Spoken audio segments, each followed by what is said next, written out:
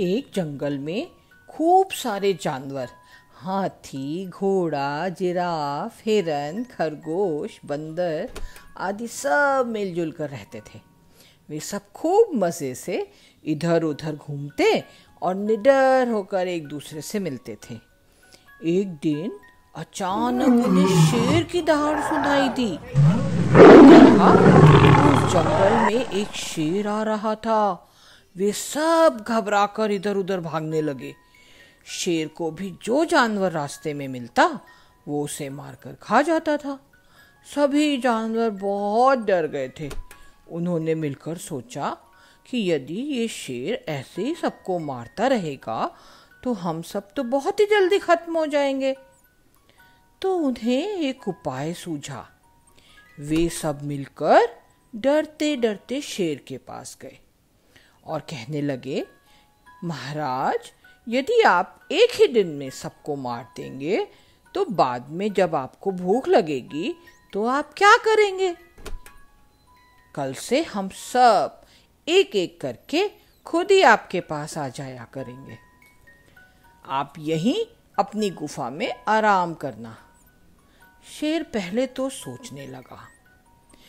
फिर उसे जानवरों की बात अच्छी लगी।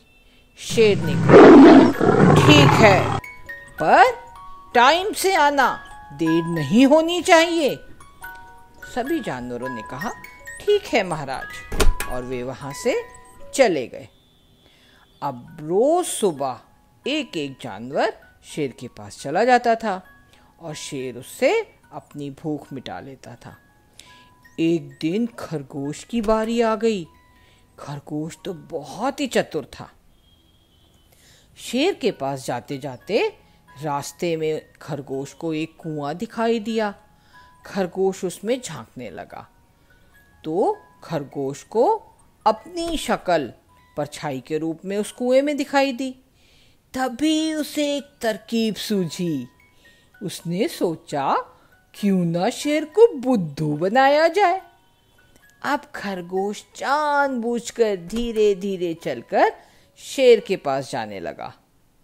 जब वो शेर के पास पहुँचा तो शेर ने खरगोश को देखते ही गुस्से से दहाड़